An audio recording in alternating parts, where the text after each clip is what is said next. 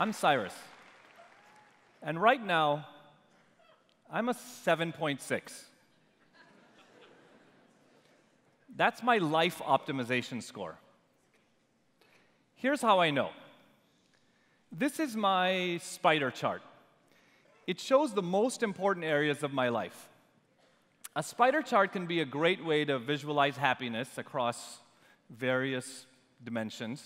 And the game is to push out as far as you can on each axis. Of course, we all have our own axes and our own scales for what we consider a 10.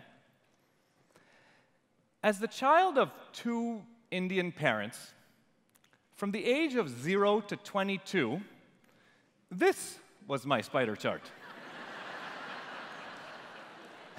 One axis. And my goal, my job, was to optimize the hell out of that.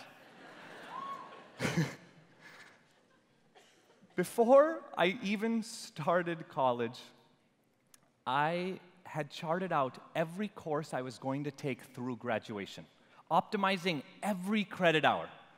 While my freshman year roommate sitting next to me is, you know, looking through the course catalog and says, I think I'm going to take 19th century French literature. That sounds interesting. I actually wish that I had taken more classes just because they were interesting. And my optimizing didn't stop there. When I first met my wife, I invited her to book a date on my online scheduler. that didn't go very well. Actually, I guess it did. With that history, it's probably no surprise that I have spent the last 20 years of my life helping people and businesses be more efficient. When I had the chance to work on time and task management products at Google, I saw at close range the root problem facing productivity and happiness for people at work and at home. It is very challenging to maximize our life optimization score with the barrage of inputs that are coming at us. We get dozens, often hundreds of emails a day, social media messages, text messages, news alerts, phone calls. In fact, here's an actual day of mine 461 interruptions, not including email, in one day and I'm sure many of you can relate. This barrage of inputs can lead to feeling overwhelmed, increased stress, lack of focus, procrastination. Or the most common reaction to all of this is just feeling like we're not enough. And to address this malaise, what do we do? We create lists, personal to do lists and work to do lists. And, or if you're like me, you create spreadsheets. Since 2007, when Google Sheets came out, I have made and maintained 333 spreadsheets for areas that I wanted to optimize in my life. That's not a made up number. Um, uh, picking our house, picking our car, uh, financial accounts, the, an inventory of the models of the light bulbs in my house. I, in fact, as I was preparing, this drives my wife crazy. In fact, as I was preparing for this talk, I actually realized that I had made a spreadsheet to count the number of spreadsheets that I'd made. now, this may seem like just incredible optimization. But in reality, every list we create is just another input. It only exacerbates the problem. And when faced with this onslaught of inputs and all the lists that we create to manage it, we usually do one of two things. We become reactive and we just, okay, and there's a text message, an email, next, next, next. Or we check out and think, I'm done, and we queue up our four favorite girls in Miami. Okay, that's mostly me. there is a better way. Imagine if it was possible to aggregate all of these inputs, factor in what's most important in your life, and intelligently determine the one optimal thing you should be doing right now. Imagine if your laptop and phone could help you be more productive that way, at work and at home. What if you had your own personal life optimizer, always helping you stay focused on that most important task? The ideal life optimizer would not give you a list of things to do because that's just another input. And because the next optimal thing is always changing, it would just give you one item, the one thing to do right now. It's actually very liberating to only have to focus on one thing. And the ideal life optimizer would know who's most important in your life. It would know your goals, your constraints, what time of day you're at your best, even your food needs based on the day's activity.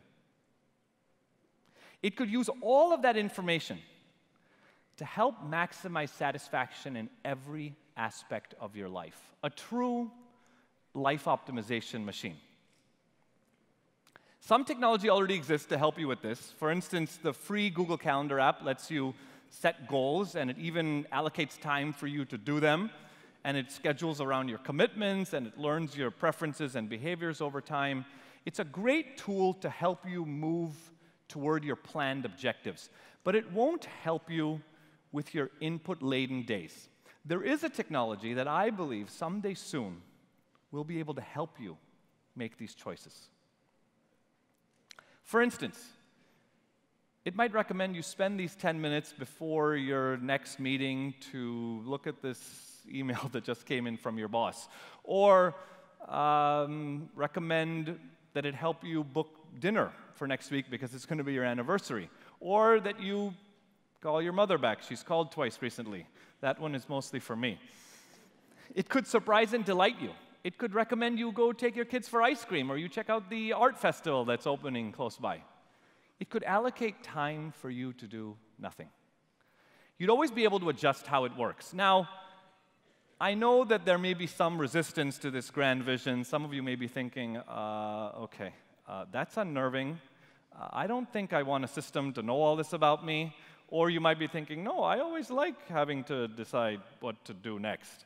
Or you may be thinking, I'm going to completely ignore this. And I'm going to toss this into the pile of other aspirational technologies that I've tried and ignored in the past. I hear you. I really do. I've tried them. I believe this technology will meet you where you are. It'll balance the value provided with your desired level of control. Now, until it arrives, here's what you can do to emulate this machine yourself. First, create your spider chart. Determine the most important areas of your life and determine your target outcome in each area. What's your 10? Then score each area, and the average of those scores is your rough life optimization score. Then and yes, math geeks, you can weight the axes if you want. I did. so some math people say, not all things are the same. Spend, figure out how much time you should be spending in each area. And when it comes time to focus on that one area, just know the one thing you're going to do to make progress in that area. Just the next thing. And to increase your likelihood of success, turn off your notifications, put your phone on Do Not Disturb. All of that will be there when you get back. Once you have optimized every next moment, you will have optimized your life because life is just a string of moments. And if done well, over time, you will feel less overwhelmed, more in control, and your spider chart may one day look like this. And if not, you can do what I do. You can ride off into the sunset with an incredible database of spreadsheets and the theme song to the Golden Girls ringing in your head. Thank you for being a friend, Detroit.